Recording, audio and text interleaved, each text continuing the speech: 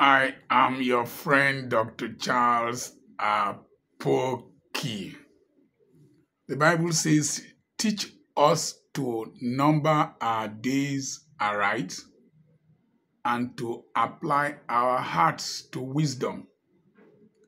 Now, I became very conscious of my age from the age of 40. I became very conscious of how I appropriate my time. I became very conscious of how much value I use my time to create and how much influence I use my time to create. I also look back at those saints who have departed and I look at how much time they had and the degree of impact they made globally.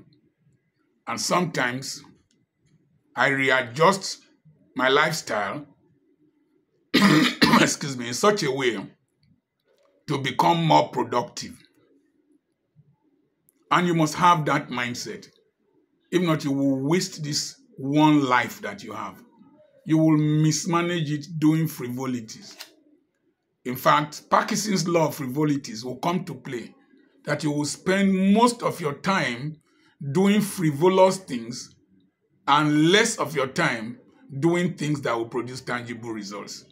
And Pareto principle will also come in that 80% of the time you will spend will produce only 20% of the results in your life, while 20% of the time you will spend will produce 80%. That's if you are even productive. So, as you get older, start attaching value to your time. This morning I woke up and I did my morning breakfast to my WhatsApp mentorship group. I taught them and I sent the message and at least 1,000, about 1,600 to 1,700 people are in that WhatsApp group and they saw that message. The next thing I did was to do a consultation for a patient, and that took quite some time. But thank God, it will help her solve the health challenge that she had that she had been going from hospital to hospital taking medications because of one string of ignorance on the part of the laboratory technologies and on themselves. So but I want to go back to yesterday. Yesterday, I did some videos. And one of the videos had, one of the shots had 1,300 views. Another had 7,700 views. And I have had calls from the United States, from the UK, within Nigeria, from professors, from all kinds of people. Now, another video garnered 3,800 views from different parts of the world, and one other uh, video got 1,700 views. And in seven days, I've had 164,000 views in seven days.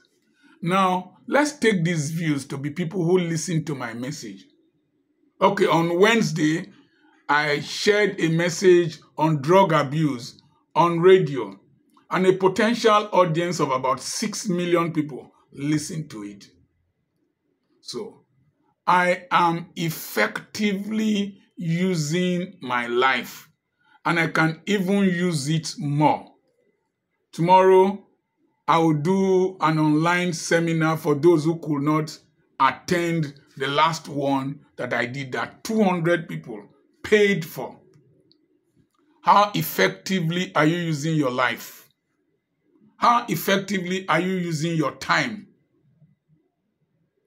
What revenue does your time spent generate? What influence does the time you spend generate? What legacy will the time you have spent generate? When you reach a certain age bracket, I told you at 40, 40 at 40, I was working like a madman because I knew I needed to work hard to build the foundation for what I will enjoy from 60 upwards. And so, how are you managing your time? How are you spending it? Frivolities with stupid people. You go to a night club and uh, a high priest who has not lived his life well will be the one who is talking to you. In fact, this is a country where those who are supposed to be taught are the ones teaching people, right from church to politics to the, the, the lounge you go to to spend your money. How are you using your time? I've garnered um, 38,482 subscribers. If I was running a church, I wouldn't have had that kind of membership. Somebody sent me a message from the UK that he has not heard from me today. He's waiting for my video. So how are you using your time? Please manage your time well. Don't get old and you start regretting. The best time is now. Use every minute well because there is no time, according to George Bush Sr. Time is short.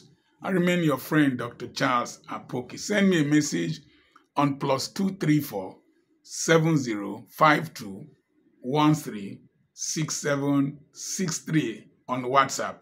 God bless you.